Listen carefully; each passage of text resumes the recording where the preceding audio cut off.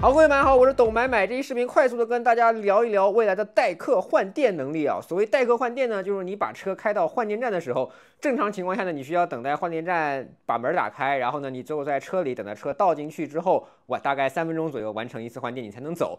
代客换电的意思就是你到达换电站之后，这个时候你把车停进了车位，你可以选择直接下车锁好车，车辆会自动在换电站等待换电站。如果前面有人排队的话，它会自动等待排队，自动把车倒进去换电。换完电之后，自动出来找一个车位给它停下来，啊，这样一个特别高度自动化的流程。所以话不多说，来看视频吧。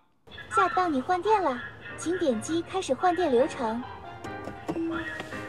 到你换电了，请按车机提示进行操作。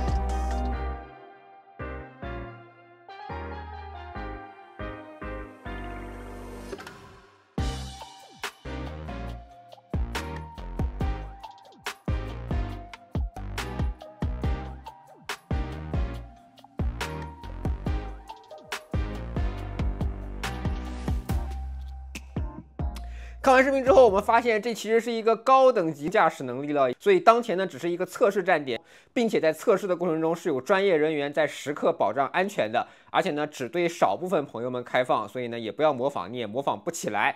这样的功能有啥意义啊？就是未来第一次实现了点对点的自动换电。你想想看，它既然可以在换电站的时候自己停下来、自己排队、自己换电，换完电之后自己进车位，那它以后能不能在比如说夜间？夜间大家都知道电费很便宜，夜间路上的车很少，自己从你家的地库把车开出去，开出去之后自己去换电站换了个电，换完电之后自己回来进车库呢？